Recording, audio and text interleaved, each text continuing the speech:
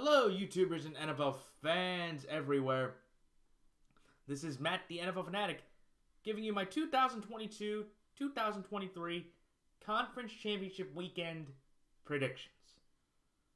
Well, it's amazing. We have played 270. Uh, 200, 281 games through this 2022 2023 NFL season and we are down to the final three games of the year. It's uh, quite hard to believe, actually, that we're at this point. It's kind of sad, too.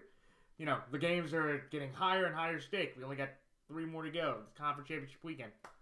But we are here, the final four. And for the Fanatic in conference, uh, in divisional round weekend, I did better. Um, I still remained 500 against the spread. I went 2 and 2 against the spread. But straight up, though, I had a 3 and 1 week. Uh, Buffalo let me down tremendously. They lost 27 to 10 in a f- fairly easy and decisive victory against the uh, against the Buffalo Bills. Cincinnati beat them 27 to 10. Uh, Joe Burrow threw, I believe, 200, little over 240 yards and two touchdowns. Had a very clean game. He now has the second most postseason victories for a quarterback in his first three seasons. I believe only Russell Wilson has more at six wins through his first three years. And another fun fact the Cincinnati Bengals entering this coming season had only won five postseason games as a franchise entering the last two years. Joe Burrow, through his two years as the Cincinnati, or in two of his three years as the Bengals starting quarterback, has just as many postseason victories than the entire franchise did entering 2020. That is, or 2021.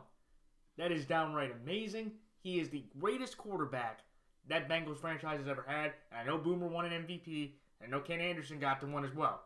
But Joe Burrow, by far, clearly, is the best quarterback they have ever had. And it's not even close. Um, I thought they had a fantastic game.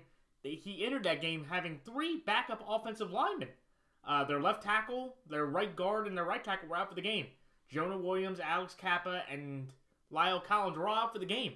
I believe the I forget who the one guard was, but Ted Karras, who apparently got nicked in the game, uh, that, was, that was the only starting lineman they had from the beginning of the year, and he played a very quick, very decisive passing game. And Joe Mixon had over 100 yards, which I think for him was his second 100 yard game this season, which is incredibly impressive, you know, for him. And I thought the Bengals offensive line, they may want to keep those guys moving forward because the other guys on that line were not doing that well. Arguably, besides Collins, definitely Jonah Williams, who had given up the most sacks in the league this year at left tackle, um, was definitely not doing well enough. I feel like to keep his job. So whoever they had at that left tackle spot, if he plays well enough next week, I would argue there should be a competition going into next year for that spot moving forward. No offense, Jonah, but you played that badly. So, uh, so that was my only loss straight up against the spread. I went 0 2 the first day, um, and I went 2 2 0 the next. Uh, eh, you know, so I'll, I'll, take that. And straight up, I went 3 and 1. So overall, for the postseason now, through 10 games, I am 4 and 6 against the spread. But you can flip that straight up. I am 6 and 4 straight up. Um, you know, I've had two really bad losses straight up Cincinnati, Buffalo and Tampa Bay, Dallas. The other ones, eh. The other two were one, a seven point game and a 27 point collapse from the Chargers. But since we're already at conference championship weekend, they haven't been there in a while. I don't even talk about it anymore, but we know that story. And against the spread, kind of some tough luck there. Again, uh, I took the Chiefs minus eight and a half. They had a 10 point lead after they got a field goal to go up. Uh, it was like 28, like 18, you know, and then or it was 27-17. Uh, the Jags got the backdoor cover with the Riley Patterson field goal at the end of the game, which sucked. But you know, so that ruined that one. The Giants Eagles, absolute annihilation from the Philadelphia Eagles to the New York Giants, 38 to seven. That was a game that I clearly got wrong from the jump. The Eagles looked fresh. They ran the ball incredibly well. I think they had over like over 180 yards rushing. Jalen threw another two touchdowns. It was the cleanest game. They had their largest margin of victory for any division rivalry series that goes three games since I believe it's in 1929 when the uh, when the Giants, a different iteration of the Giants, beat another team, uh, but in 1929, because I think they won by 63 points combined. So that you know that tells you how great this Eagles team has been against that Giants team. The Giants have nothing to be ashamed about, personally. But the Giants, they played, they had a heck of a year, overshot their expectations by leaps and bounds. You know, getting a 9 7 and 1 record, getting Daniel Jones a playoff victory. First playoff win they've had since 2011. The last time they went to the Super Bowl. You know, do they have a lot of work to do? Yes, they do. Because honestly, I felt like when Daboll went forward and failed on that fourth and eight, like that basically ended the game. You know, I, am not saying that you know if he went for it there, tried to move forward, that you know if he punted it, it would have changed the outcome. It probably wouldn't have. But basically, at that point, when they were up 14 nothing, it just snowballed completely out of control after that one. Kudos to James Bradberry, the team that cut him last year. He gets a pick on him in the playoff game. Um, and Daniel Jones, for the second time this season, didn't have a touchdown, which was huge. And, you know, that's the thing. I think the Giants they have a lot of big free agents in their offensive core. Dan- Daniel Jones, Saquon Barkley, and uh, Sterling Shepard are the big offensive names uh, that they have free agent wise. Uh, Fabian Moreau, uh, what is probably their big defensive free agent name. But I think the Giants, if they can use their money properly and spend it properly, and I have to commend Saquon Barkley for saying this. He did say that he will not break the bank for the Giants uh, in this offseason. So that is that is great news to hear if you're a Giants fan, because that will at least show that you know they can move forward in a uh, better direction, and it, it, that he may not have to. They're not. He's not going to ask to reset the mark, which is huge for a player saying that in a contract situation in the league. You know now. So um, there was that game. Talked about Bills, Bills, Bengals, and Chiefs, uh, Jags. The kudos to the Jags too. Heck of a year. You know, went on a six-game win streak to get to this point. Played overall fairly well. William Lawrence had his moments where he had some great throws. And Christian Kirk did drop one, by the way. Um, that could have been a big play. I, I didn't understand what Collinsworth said that was a bad throw. No, Kirk could have caught that one. But William Lawrence showing in his second year, showing in his youth, that he still, you know, can make some very bad mistakes, and they had a costly fumble at the end, which iced the game. You know, again, I do think for the Jags, though, and for any Jags fans out there to watch this, you are having William Trevor Lawrence, having William Lawrence, and Doug Pederson. They are the new Manning Dungy combo in the AFC South moving forward because the rest of that division is in a very bad spot. I look at the rest of that division and go, there is no optimism, and there's no optimism with duo or talent that you feel like moving forward that they're going to be able to win that division. This is the Jags division. This is Duval's County's division, I believe, moving forward for at least the next five seasons, maybe longer than that. But I will say this right now, and if you know, five years on the road, I believe the Jags win the division five consecutive years. I guess, regard minus injury. That's how confident I believe in this Jags team and how bad I think the AFC South is remaining as a whole. That Jags team should win the division for the next five seasons.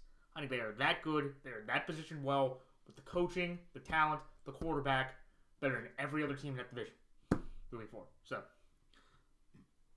and then lastly, I'll talk about the Cowboys Niners game. That was a very awkward or very interesting game.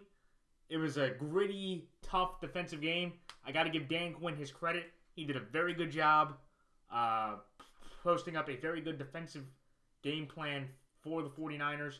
They were held to 19 points, and Brock Purdy, for the first time in his NFL career, did not throw a touchdown. But he played well enough. He made some very key decisions.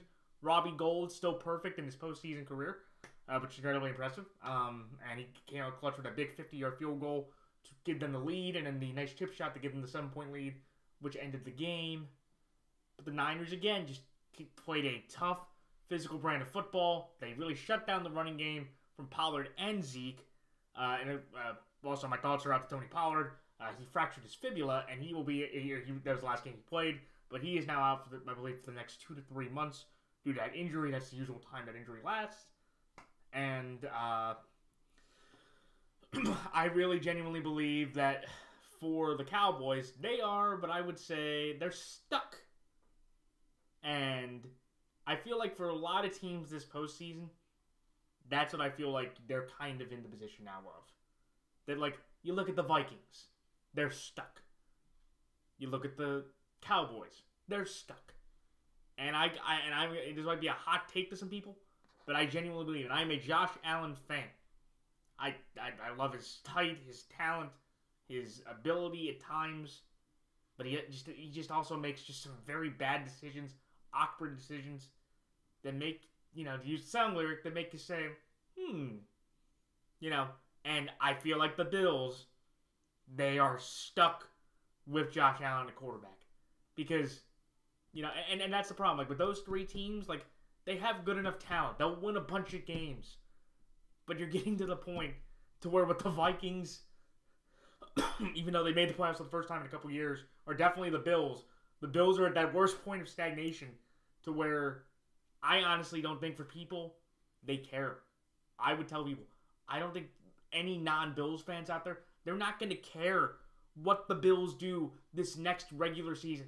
They could win 11, 12, 13, 14 games in the regular season. They could clearly win the AFC East, but they should be favorites again this, this upcoming season. But nobody's going to give a flying rip until you reach those January games and when, the, when they matter. They'll start caring about the Bills at that point. And that's a horrible feeling to have because it just means like you just play all those regular season games, you can put up all the regular season stats you want. Nobody cares. Nobody cares about that. At, at a certain point, it's fun, but if you're not winning postseason games as often, and for Sean McDermott, if you're just getting into the divisional round, if you're going to be the semifinalist year after year after year, you know, or the bronze medalist every year, you know, being the Alfred of the AFC, that's that's great. You're part of the big cast of Batman, but you're not Batman or Robin. You're Alfred. You're just a butler that gets the whole that you know that Patrick Mahomes and Joe Burrow have Josh Allen's you know quarterback hood on a plate there. They just keep there because that's what I feel like for those two. They they have clearly ascended above him. So, um, you know, so I think that's you know going to be an interesting point there. But I, I feel like also with the Cowboys again, they're stuck. Like they got they have Dak's getting thirty one million dollars fully guaranteed next year. He's going to be in a spot to where you know he's entering the final two years of his contract. But do you you know can you get to the championship game without you know with Dak Prescott? Probably not. You know because I think the Niners are still going to be great. The Eagles are still going to be great. Uh, the Rams should be better. And there's all these other teams, and you feel better about the rosters and the construction compared to what uh, the Cowboys have, you know, moving forward. And they're going to have to try to pay Trevon Diggs this year, which I think will be a big, big problem. or a big problem after next year if he's going into his contract year without any, you know, without a contract. So, um, and also I want to give one more quick shout out to Brock Purdy. Um, eight and eight and zero as a starter, or seven and zero as a full time starter. Won the game against the Dolphins, where it should have been credited with a win, but Jimmy got that one. But has not lost a start. Played very good football, and I would tell every Eagles fan out there that watch this show. I know a few personally. You know, I I would tell every Eagles fan out there, do not sleep on the San Francisco 49ers. This is the best team the Eagles will have played the entire season. They went into Philadelphia last year, and with Jimmy and playing awkwardly, they won 27 to 20. They played a good enough game with Jimmy. This Niners defense has speed. They have great tacklers. They have a good enough sec. They have a very good pass rush. Lane Johnson's banged up. He's playing through an injury. He's playing through a torn abdomen. You know, they have a very good offensive line led by the silverback Trent Williams, the best left tackle in football. They have Deebo and Christian McCaffrey and Elijah Mitchell. They have better running back depth.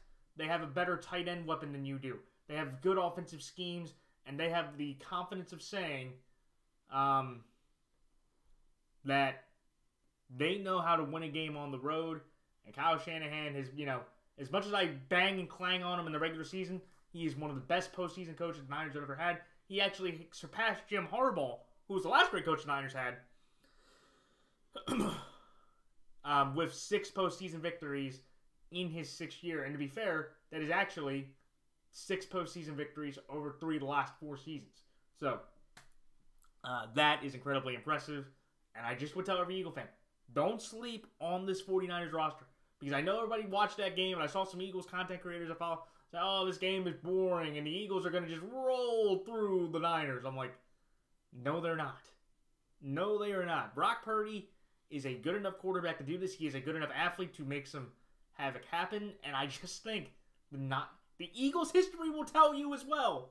Okay, the Eagles have blown plenty of conference championship games. They blew they blew two famous ones in 2002 and 2003. To where in 2002 the Buccaneers had never won a game where it was under 50 degrees, and they went into the Linc of they went into the Linc that day, and or uh, the Linc or the vet. That might have been the They went into the vet or the Linc that day, and they beat them, and it was capped off by McNabb throwing that Rondé Barber interception. The next year, where the Eagles again were clearly the better team than the Carolina Panthers, they played Jake Delhomme and the Panthers, and Donovan McNabb in that game threw three interceptions, which was the same amount of points the offense had scored. So, and I'm not saying Jalen Hurts is going to have that bad of a performance. He's better than Donovan McNabb, clearly. But I just want to point that out is that the 49ers have the talent, they have the confidence, and they have the coaching to win this game. To win this game. So, um, but, but you know, those are my thoughts on all that. Let me get into my picks. Uh, I actually I did forget one thing, so let me tell you also. Do 281 games. My overall record against the spread now is 135, 140, and six. And straight up now I'm 174, 103, or 174, 105, and two. So that equals up to 49.1% against the spread. And straight up, that equals 62.3% straight up. So definitely, I'm not going to reach my above 500 or by 500 or above mark against the spread. I had a really good chance, and there were moments this year that I had the 500 mark in my grasp. Or I was at 500, but then the Monday night game would play, and I would lose every Monday night. Every Monday game where I had a 500 record, I had a chance to go above it, and I fell. And then every freaking time. You know, but still a 49% against the spread percentage. I lose money, but I've gotten better at this and I feel better about you know my confidence moving forward. Like you know, my goal next year is to be a 500 against spread predictor. So wish me luck. Hopefully, you know I can learn and I can understand these teams and more information. But we'll see. And straight up, 62.3%. That's good. You know, I'll take it. You know, it's definitely a little bit lower than I usually have. But, you know, of how many crazy games there were and two ties, you know, I'll, I'll take that and just move forward with it. So, uh, there's that. So, time for my picks for conference championship weekend. Uh, so on Sunday, January 29th at 3 p.m., the NFC Championship game when the San Francisco 49ers travel to Philadelphia. The Philadelphia Eagles are two and a half point favorites in this game. Give me the Philadelphia Eagles here to win straight up. And I know I just talked about all that stuff for Eagle fans, so, you know, I get all that. Uh, but I'm taking the Philadelphia Eagles here straight up, but I am taking San Francisco plus two and a half. and then in the AFC Championship game at 6.30 on CBS and Paramount Plus, when the Cincinnati Bengals travel to Kansas City to play them for the fourth time in about a calendar year. Uh, the Kansas City Chiefs are one point favorites in this game. Is and I know, and I'll explain this more in de- detail. As all my head is telling me, Cincinnati is going to get healthier. They've had the number. They don't have a quarterback that's banged up as Patrick Mahomes is, who has suffered a high ankle sprain. I am going to go. As much as my head's telling me that, there's just something in my head telling me that this feels very much like Niners and Rams. To where, like, if the Chiefs are ever going to get over this hurdle, it's got to be this game. Because then, if, you know, and that's what I believe will happen.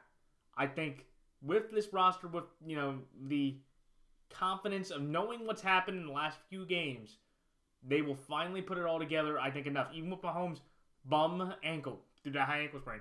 I believe they will put it all together enough to win this game. So that's why I have Kansas City here minus one and Kansas City straight up. If this was a two and a half or three point spread, I probably would have gone with Cincinnati just like I did last time.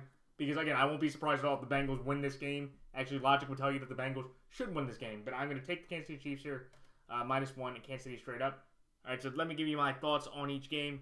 The Philadelphia Eagles over the San Francisco 49ers. Um, I am taking the Philadelphia Eagles here based on the fact that they have the better quarterback. And that this is what I always thought is that look, you know, you know, you look at the rosters and go, you know, the Eagles have the better offensive line. The Eagles have the better wide receiver depth. Uh, the Eagles have the better secondary. The front sevens are about a push. I think the Niners have better linebackers. All the rosters are about the same, pretty much. And the kicking, I would take I would take Elliott for distance, but Robbie Gould's more proven experience, which I think is big. Um, but in a game like that, where you have the even rosters, you have to go with the quarterback. And as great as Brock Purdy has been, he has been on one of the great seven game stretches that you can have as a starter, eight game stretches as a starter. He's just not Jalen Hurts. Jalen Hurts this year will be second in MVP voting. He has, you know, played exceptionally well. 66%, you know, completion percentage. Uh, you know, tremendous passing and rushing touchdowns combined. Uh, he has been that good of a quarterback, and I feel like if he wins and then wins in a couple weeks in Glendale, he will be moving forward the greatest quarterback the Eagles have ever had, and he will be the goat of the Eagle quarterbacks. Sorry, Nick Foles and McNabb and, and Jaws. They're your Mount Rushmore. There's your Mount Rushmore quarterbacks for there for the Eagles. but I just didn't. I have to take Jalen over Brock, and this is one of those things to where you know I get it that you know everything else could tell you you know Kyle has been in this spot, but it feels very much the same that we're against a desperate team. You know, you know, I know, I know the Niners and Rams don't have that history. I just feel like in this spot, the way Brock played, because to be fair to the Dallas Cowboys, Dak had two interceptions. He should have had three with Dre Greenlaw, who had a pick six. That would end the game and giving you the cover easily. He had three interceptions. One to Bland, one to Diggs, and I, or one to Diggs on that last drive. I forget, I forget the other one uh, that he almost threw. So you know, look, he, he showed some weakness there. Again, near interceptions are not interceptions; they're near. You know, uh, but I trust that you know the Eagles' defense should be able to do a good enough job on the receiving weapons. If they double Deebo and double Kittle, I just make Brock Purdy use Jauan. Make Brock use Brandon Aiyuk. Make Brock use Elijah Elijah Mitchell. And the Eagles pass rush, which led the league in sacks and had a first ever four men having 10 or 10, 10 or more sacks. First time in NFL history that you had four players on the same defense have 10 or 10 or 11 plus sacks for each of them.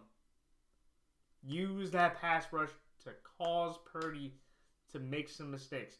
He can maybe avoid one, but he just seemed like every time he did, he couldn't make the right decision or he had to be very rushed into a throw and cause, with your receivers with DeVonta and AJ, attack the weakness of the 49ers defense, which is their back end. Their back end is not bad, but it is definitely the weakness of their group. Because definitely CeeDee, who had 10 receptions over 100 yards yesterday, he definitely had his way with it and I think DeVonta or AJ, one of them should be able to as well. Uh, Goedert, I think, will kind of be the interesting X factor in the middle of the field because the Niners are going to try to hit in the hashes where the Eagles should hit the outside. And I just trust as well, like in that type of running game, I just trust Jalen and Sanders to do a little bit better of a running job compared to the Niners with McCaffrey and Purdy or McCaffrey, Purdy, and Mitchell. I know Deebo can run too, and he may made a couple nice runs. but I am taking the Philadelphia Eagles here based on the fact that they have the better quarterback. Again, you know, if if Jalen struggles or he gets a couple turnovers or you know the Niners defense can cause as much havoc as it has the entire year, um, then yeah, then the Niners you know can easily win this game. But I just think in this spot when you have these two you know evenly matched teams in regards to you know having some advantages over others, coaching I would give the Kyle Shanahan even though Sirianni has done an incredible job this year, which nobody expected. Uh, I'm going to take the Philadelphia Eagles here. Better quarterback at home. And I just think Hurts makes one or two more plays that Purdy doesn't. And I think Purdy makes one or two more mistakes or incompletions that cost the Niners this game, which will mean for the third time, for the second straight year, they will have lost the conference championship game. I and I, from what I've heard, Brock Purdy is still going to be the quarterback for the Niners moving forward in 2023. I obviously think he, or I already think he's better than Trey Lance. I think ever will be and I think Trey Lance probably be traded to the Tennessee Titans here eventually, uh, soon. But um, if I had my own personal opinion, if Brock Purdy loses this conference championship game, call the 45 year old man in a Florida home. Call that 45 year old man. Tell him, come to San Francisco. You're the missing piece of this. You're the missing piece. We can win a Super Bowl with you here. You played with this organization, or you've idolized this organization since you were young. We, you know, and you we want you to be in that group with Steve and Joe. This would be LeBron going to the Lakers, or you know LeBron, LeBron James going to the organization that you know he loved, you know, or being one of the immortals too, and putting his name on there and saying you can end your career by, at home with your family by the bay if we can get this six champ, we can get our sixth championship, your eighth, and you can retire in the sunset. And then Brock Purdy, starting in 2024, can be the quarterback moving forward with already eight starts under his belt, or how many starts he has, and we can all, you know, move forward in a positive direction. So that's what I would do, but I, I know they're not going to do it, but that's what I would do if I were the Niners in the spot if they lose this game. So that's like Philadelphia here straight up at San Francisco plus two and a half. And lastly, the Kansas City Chiefs over the Cincinnati Bengals. Um, and this is one to where I am just believing that for the Chiefs, okay, because I know everything I just said in my head, it all goes towards the Bengals. Better receivers, consistency, you know, Joe Burrow playing at a high level, the defensive schemes, Mahomes' ankle. I know it's all pointing towards Cincinnati. I just, I just think for the Chiefs, they have to understand this is Niners Rams. If if this team loses to the Cincinnati Bengals, this is becoming Manning Brady 2 or the Manning Brady of this current generation. And Joe Burrow is becoming Tom Brady at that point.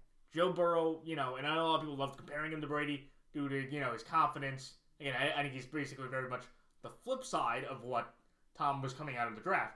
But it's very much that sense of where Joe Burrow has this guy's number. This wonder kid that everybody thought when, when Andy drafted him with the 10th overall pick in the 17 draft, and what he's been able to do for the past five seasons two MVPs, two Super Bowl appearances, the passing single season yardage record, been absolutely dominant, won every road game in his division throughout his career so far. Uh, you know, proving that he didn't, you know, he can, he doesn't need Tyreek Hill and still can lead the league in passing. You know, doing all this stuff, giving Travis Kelce, you know, a go aspect of a tight end conversation all time. Uh, it's it, it's just crazy to me because it's just like this is a guy that's you know not nearly as talented, doesn't have nearly as much accolades at this point, but he's better, and it's just one of those things where you can't you can't ignore four straight times. You you, you know you could argue three, but if you're telling me in a calendar year, essentially, four years or four games in a year, two two of them uh, and splitting evenly, that you can't beat this guy. And remember, they already won the division already. So both of them are going to play each other again next year again for the fifth time. You know, in about two years, five games in two years, and you know you are going to say that Joe Burrow is the best quarterback in the NFL if he wins. You know, or Joe Burrow is the best quarterback in the AFC if he wins. But that's back-to-back Super Bowls. Well, just as many Super Bowl appearances as Patrick Mahomes, but he, you know, and he did it back-to-back, just like Mahomes did it back-to-back.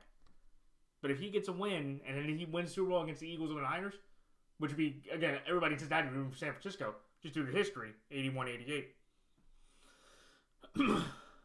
but that that that's just one of those moments where Joe Burrow becomes the king the Tiger King. And I'm, I, I won't go into what. And I know all the stuff about Tiger King. I heard Carole Baskin and Carole Baskin is still alive. I get that, and I saw that, but I'm not going to go into that. This one, but the Tiger King and Joe Burrow, the Bengal Tiger King, he is the best quarterback in the NFL going into next year, and arguably moving forward for the next few years. And the Cincinnati Bengals will have to pay the largest contract they've ever had in franchise history. And as much as many people might think, you know, Joe Burrow will earn every single dollar and cent and cents by, you know, that decision. But I just think, like in this spot, the Chiefs know. They, you know, have had leads of 14, 8, you know, or 11, 18, and 7 in the last three games in by half or in the second half. And they blew all of them.